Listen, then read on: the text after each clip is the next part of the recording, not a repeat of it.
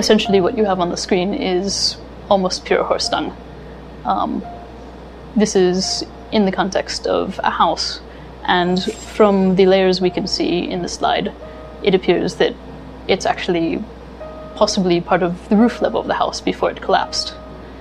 Um, this would mean that horse dung was being used perhaps as insulation. It would mean that there was a lot of horse dung around, which suggests that they kept horses. Uh, and it also means that it was a valuable resource, which was being used uh, and part of their construction regime. So Botai isn't just an important site in Kazakhstan, it's one of the most important sites in the world because it's at this cusp where you have people who had previously in the region been just hunting horses and not really making use of them for anything other than meat. And then you have this revolution where people decided that actually horses are great for transport, they open up their world. And one of the things, this is a very distinctive artifact of Botai culture, and I don't think we find it in any other culture in the world. And what it is is a horse jaw that has been cut so that you have this uh, V shaped notch. And we think the way this was used was. Okay. Okay, you hold.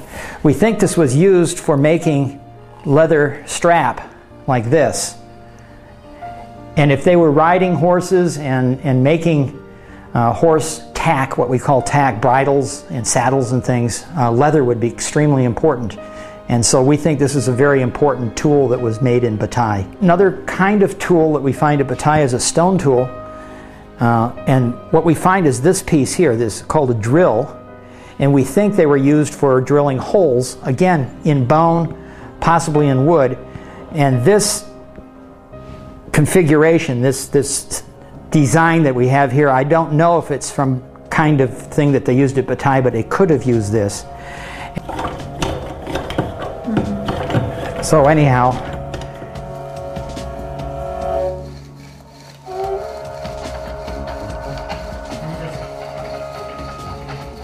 Это были протоиндоевропейцы в 4-5 тысячелетии. These were Proto Indian Europeans in the 4th and 5th centuries, the time when a single branch of the Paleo Eurasian races existed.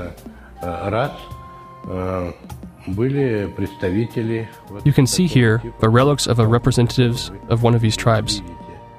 This skull has a peculiar feature about it. It was found in the wall of a house. when we cleaned it up, it was covered with a clay mask. When the anthropologists analyzed it carefully, they discovered two holes in the back of the skull. These holes were made during the age of puberty when this man was 11 to 13 years old. The two holes were drilled with a flintstone driller, and for some 17 years, the holes were just open. в открытом состоянии. Можно We can talk a lot about the reasons for such trepanation, о том, с какой целью использовать but what we can say for sure is that this man was either a shaman or a priest. позднейшее применение э, в жизни вот этого э, деятельности этого человека, возможно, как шамана или жреца.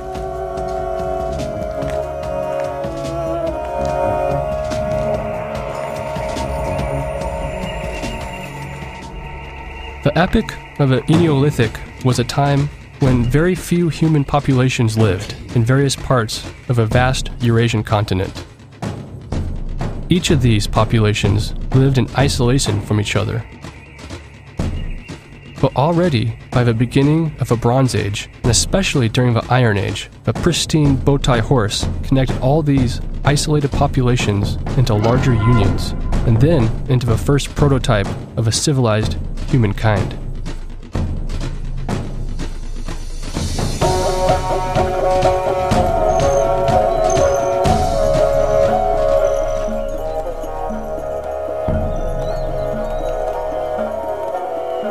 The Botai people picked places for their settlement around the pine forests, with good clay and stones available, as well as with high and open riverbanks.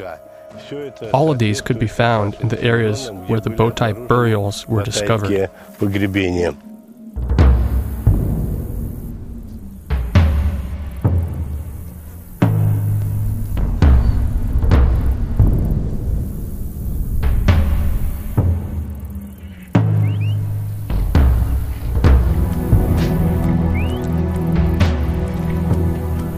We can claim that it is the domesticated Botai horse who became an enormous driver for human progress to develop from several isolated groups into a single community, who became the means of active relationships between the first civilizations and one of the most demanded goods of that epoch.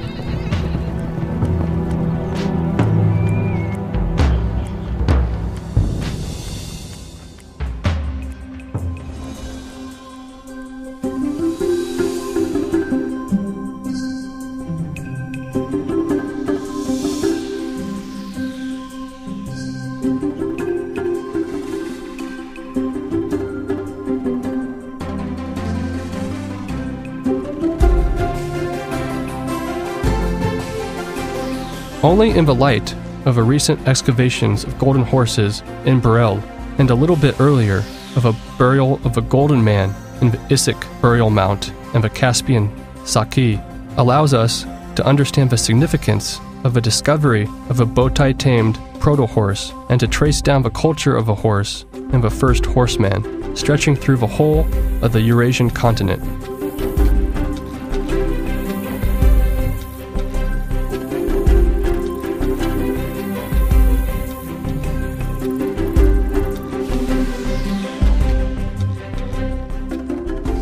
Such is the truth of integrity between human history and culture.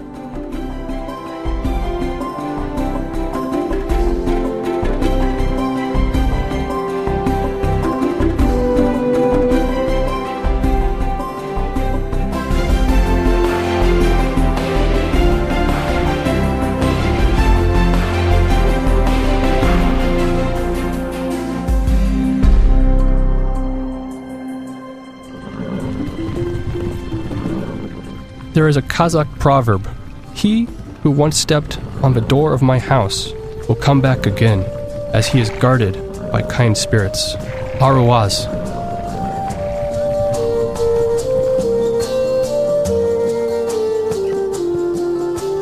I think that the duty of every educated modern man is to consider one important circumstance when he tells about his motherland.